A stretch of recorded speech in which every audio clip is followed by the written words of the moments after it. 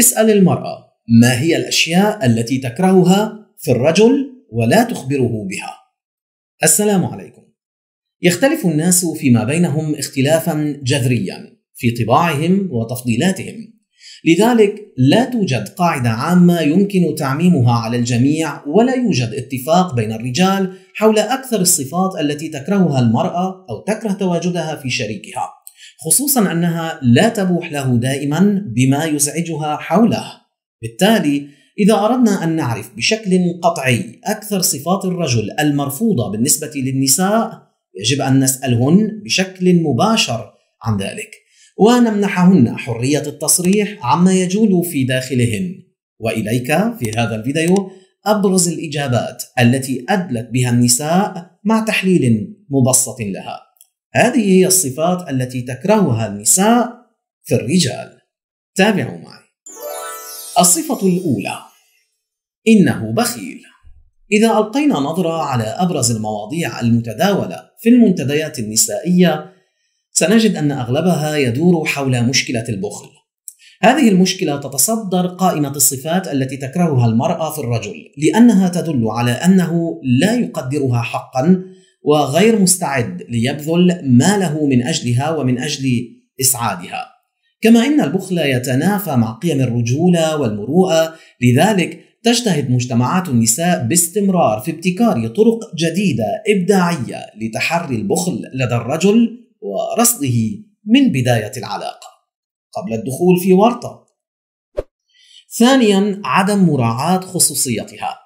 توجد لدى المرأة بعض الأمور الخاصة التي تتوقع من الرجل أن يراعيها. ولكن هذا لا يحدث أحيانا بسبب جهله بتلك الأمور أو طبيعته الخشنة في التعامل كما يحدث أيضا أن يسخر الرجل من بعض اهتمامات المرأة كروتين بشرتها اليومي أو قضاء وقت طويل في تجهيز نفسها للخروج وكلا الأمرين مزعج بالنسبة لها لأنه تدخل صريح في أشياء لا تخصه. إهمال النظافة الشخصية. قد لا يرغب بعض الرجال في الاستحمام يوميا أو يتكاسلون عن تنظيف أسنانهم في الصباح.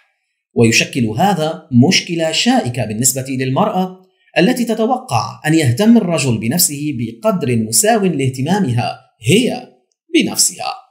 ولكنها في ذات الوقت تتردد أحيانا في مصارحته بذلك خوفا من جرح مشاعره. ولذلك تبحث دوما عن طرق فعالة تمكنها من اكتشاف إهماله ذاك منذ البداية لتوفر على نفسها معاناة التعامل معه فيما بعد. صفة أخرى انتقادها في العلن. احذر مرة من انتقاد المرأة بقسوة في السر ومرتين من انتقادها بلطف في العلن فهي لا تغفر لك ذلك حتى لو كان مغلفا بالحب واللطف الزائف حيث يمكنك ببساطة أن تخبئ تعليقك ذاك إلى حين تكونا بمفردكما بدلا من إحراجها بصراحتك التي لا يمكن كتمها قليلا أمام الآخرين. تجدر الإشارة أيضا إلى أن استخدام المزاح لتسهيل عبور الانتقاد لا ينفع في هذا الوقت ولا يفيد في التخفيف من حدة الرد. النساء أيضا يكرهن الرجل الذي يكثر من التباهي بأمجاده.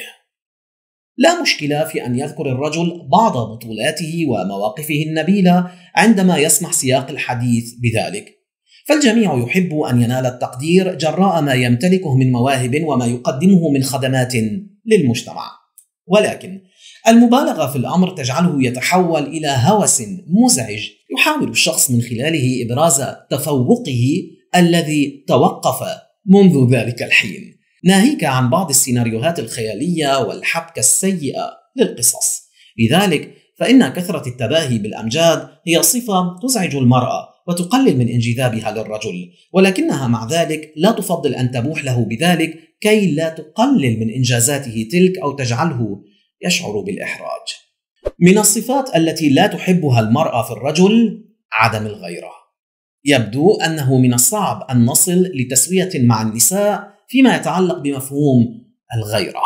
فالكثير من الغيرة مذموم والقليل مرفوض. ولذلك يتخبط الرجال وهم يحاولون حساب الجرعة المطلوبة من الغيرة التي ترغب بها معظم النساء. لكن في هذه الحالة لم تقول لك فتاتك بشكل واضح أنها تريدك أن تظهر لها غيرتك، بل ستقوم باستفزازك لتقوي جذور هذه الغيرة الموجودة في داخلك. وإن لم ترى هي نتائج ذلك في أقرب وقت، ستعيد التفكير بموضوع ارتباطها بك لأنك على ما يبدو لا تحبها بما يكفي. الرغبة في السيطرة تشكل هذه الصفة امتدادا للصفة السابقة ولكن في الاتجاه المعاكس.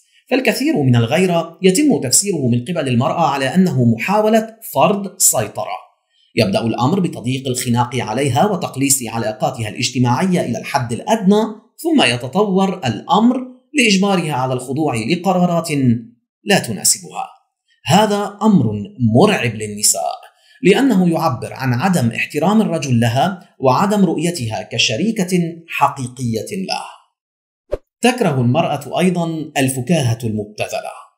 إن النقاش حول أهمية الفكاهة بالنسبة للمرأة هو أمر محسوم، لكن المشكلة هي في جودة هذه الفكاهة.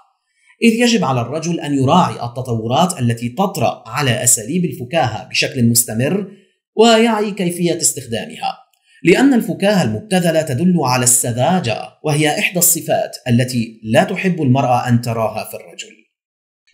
من الصفات التي تكرهها النساء في الرجال الفوضى يتنافس بعض الرجال بشراسة على لقب الأكثر فوضوية في العالم حيث يبرع قسم كبير منهم في ذلك بطريقة تثير جنون المرأة التي قد تتغاضى عن ذلك في بعض الأحيان املا في أنه سيتغير مع مرور الوقت ولكن عندما لا يحدث ذلك التغير المرتقب ستجد المرأة نفسها مضطرة للتعامل بأساليب مختلفة مع ذلك السيد الفوضوي.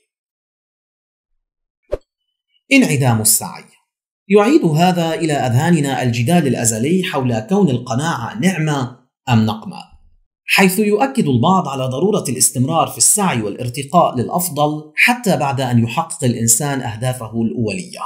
لأن التوقف مع مرور الزمن يعني التراجع للخلف وهناك من يؤيد أن القناعة هي الأمر الأهم الذي يجب أن يتحلى به الإنسان أثناء رحلته في الحياة ليجنب نفسه الكثير من الجهد والمعاناة غير الضروريين. لكن عندما يتعلق الأمر بالنساء فهن يفضلن الصنف الأول ويعتبرنه بطلا خارقا يمكنهن الاعتماد عليه وتسليم زمام الحياة إليه مع شعورهن بالثقة والأمان.